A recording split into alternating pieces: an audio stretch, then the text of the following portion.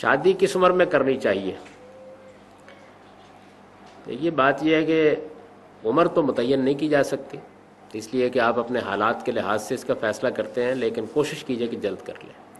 اور موجودہ زمانے میں تو آپ جانتے ہیں کہ علامہ اقبال نے بڑے درد کے ساتھ دعا کی تھی اپنے بیٹے کے بارے میں، کہ حیا نہیں ہے زمانے کی آنکھ میں، باقی خدا کرے کہ جوانی تری رہے بے داغ۔ اس وقت بھی صورتحال یہی تھی۔ اب صورتحال اس سے زیادہ سنگین ہو گئی۔ ہے